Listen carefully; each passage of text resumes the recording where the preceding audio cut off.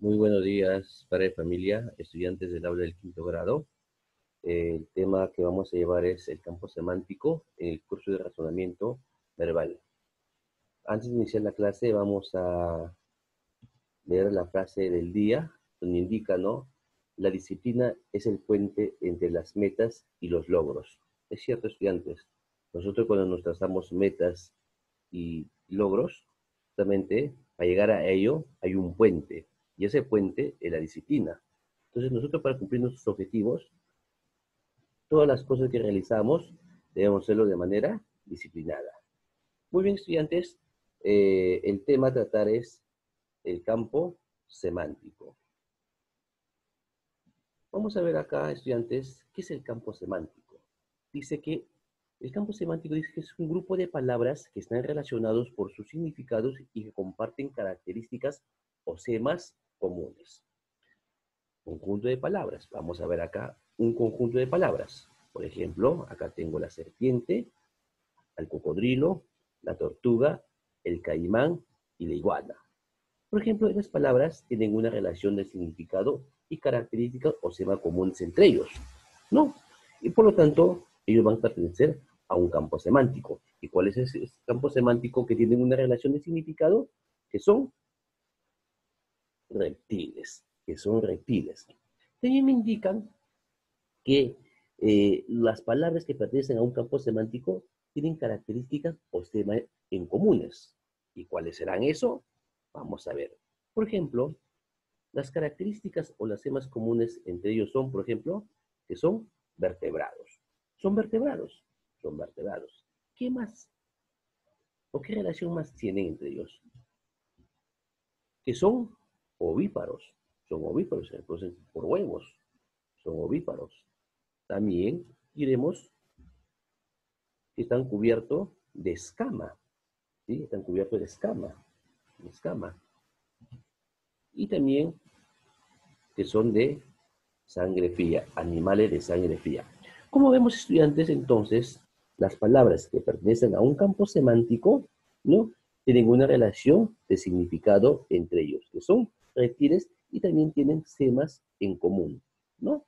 Por ejemplo, que son vertebrados, son ovíparos, cubiertos de escama, son de sangre fría. Entonces, la serpiente, el cocodrilo y la tortuga, el caimán, iguana, pertenecen a este campo semántico. ¿Qué pasaría yo si pongo acá no al caballo? ¿El caballo pertenecería a este campo semántico? No, no pertenecía porque no hay ninguna relación de significado ni características entre la serpiente y el caballo. Por ejemplo, eh, el caballo no tiene, eh, si bien es cierto es un animal vertebrado, pero no tiene, no es ovíparo, no, su cuerpo no está cubierto de escama, no son animales de sangre fría. Entonces él va a diferenciar de lo restante, por lo tanto el caballo no pertenecería a este campo semántico, más aún que el caballo no es un reptil, sino es un mamífero. Tomando en cuenta esta idea, estudiantes, ahora vamos a trabajar, ¿no? El libro. Ya saquen su libro, ¿no? Todo vamos a la página 246. Ahí vamos a practicar mejor para entender la idea que es el campo semántico. Indica. Todos ya estamos ya. Página 246 dice. Escribe cinco elementos para cada campo semántico propuesto embarcaciones. Ya está acá la resolución, nos han dado un ejemplo. En el campo semántico de las embarcaciones están ¿no? la fragata, el bote, la canoa, lancha, el transatlántico. Entonces son eh, embarcaciones ¿no? que pertenecen a este campo semántico. La pregunta 2 nos dice, realíceme un campo semántico de peces, nombre de peces. Entonces vamos a ver, por ejemplo, sería ahí el pejerrey, el anchoveta, la trucha, el bonito, la chita, la corvina, la lorna y tantos peces más, pero solamente nos piden cinco. Ahí están los cinco, ¿no? Bonito, trucha, el rey, la chita y la lorna. Ellos pertenecen al campo semántico de los peces, de los peces, ¿no? ¿Cuál es su relación eh, o una característica, característica en común entre ellos? ¿No? Eh, que son animales ¿no? Eh, que tienen escama, por ejemplo, ¿no? Escama, ¿no? Y viven en el agua. Eh, los cítricos. me dice, dame frutas no que pertenecen a ese campo semántico, de los cítricos. Puede ser la mandarina, la naranja, la lima, el limón, la, la toronja, etcétera, etcétera. Entonces, estos términos o estos frutos pertenecen al campo semántico de los cítricos. Son frutos, son cítricos, ¿no? Pertenece a ese campo semántico. Dice también, hazme un campo semántico de los fenómenos climáticos. Campo semántico de los fenómenos climáticos. Entonces yo debo poner los términos que pertenecen al campo semántico de los climáticos. Por ejemplo, ahí está, ¿no? La precipitación, los vientos, la humedad, la temperatura, la presión atmosférica son fenómenos climáticos. Son fenómenos climáticos. Ahora indica también, hazme un campo semántico de muebles.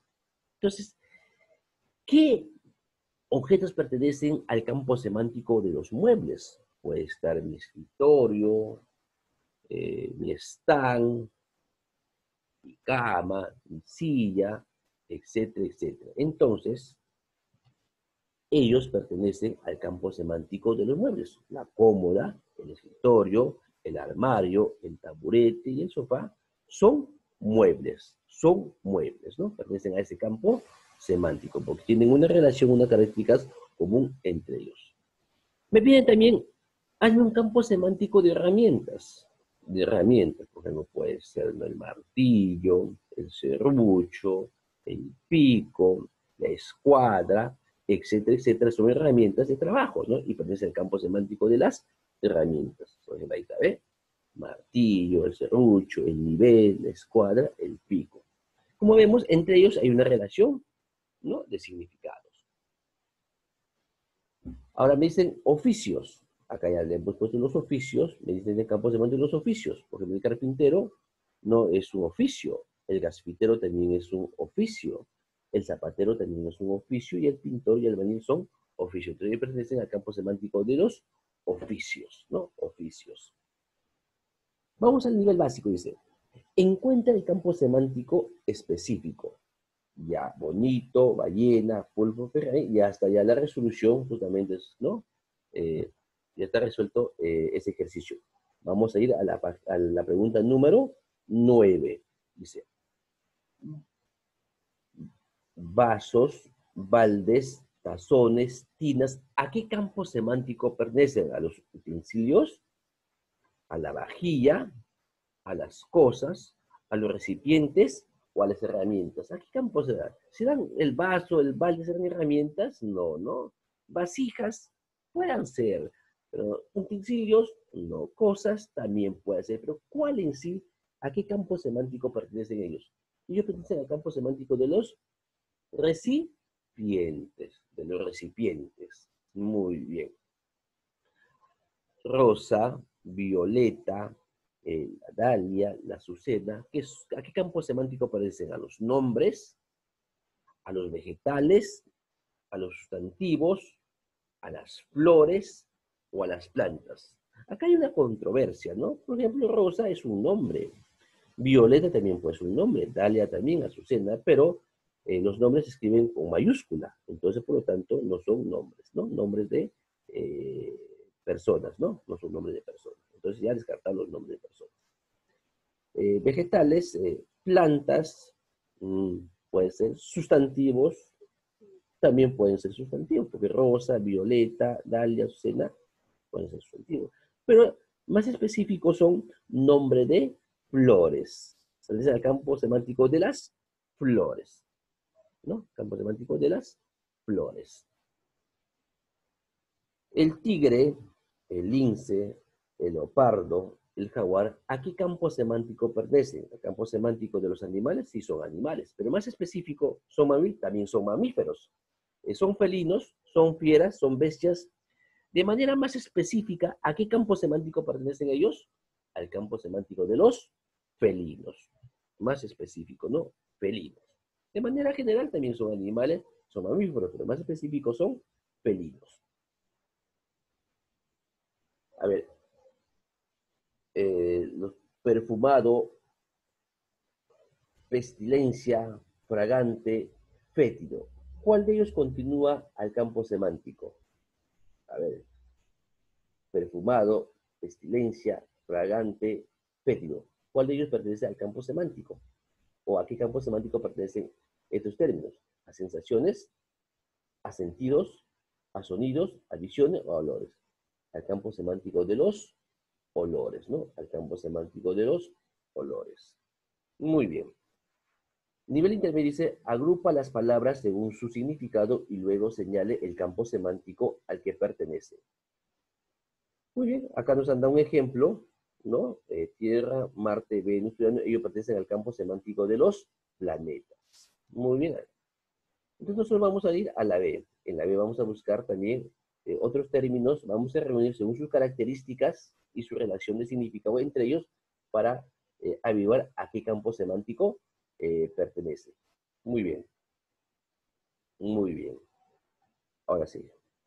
Por ejemplo, acá eh, la radio es un artefacto. Vamos a ver, la licuadora también es otro artefacto.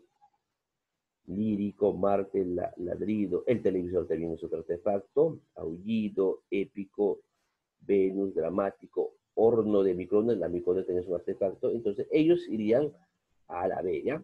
A la B. Ahí está. Muy bien. La radio, la licuadora, el televisor y la microondas. ¿Ellos a qué campo semántico pertenecen? Pertenecen al campo semántico de los artefactos. Ahí está. El campo semántico de artefactos. Continuamos a ver. A ver, continuamos a ver. Eh, A ver, narrativo es un género eh, literario, ¿no? El narrativo es un género literario. A ver, entonces vayamos. Eh, maullido, maullido es, es un sonido onomatopéyico. Licuadora, ya está ya. lírico también es un género narrativo. ladrido también es un onomatopéyico. Aullido también es un, un sonido, de un, sonido del animal. Épico es un género también literario, dramático también es un género literario, y rugido también es un sonido, ¿no? Entonces, vamos a ordenarlo por eh, nombres onomatopédicos. El maullido, el ladrido, el aullido, el rugido pertenecen al campo semántico, no de los sonidos que son los onomatopédicos, ¿no? Muy bien. Y lo que quedan serían los eh, narrativo, lírico, eh, épico y dramático, que son ¿no? géneros literarios. Son géneros literarios. Entonces, estudiantes, como vemos, ¿no? Eh, estos términos están relacionados por características o un significado en común que se les conoce como campo semántico. Muy bien, estudiantes, vamos a eh, ver la tarea, ¿no? Entonces ustedes van a resolver menos la página 248 y la página 249. De la página 249, de la pregunta del 7 al 10, lo van a realizar en su cuaderno. Muchas gracias, estudiantes. Hasta ahí sería la clase. Ya nos vamos a volver a ver, ¿no? En la asesoría, ahí podrán tener algunas consultas más para aclarar respecto al tema que se ha tratado el día de hoy. Muchas gracias, nos vemos.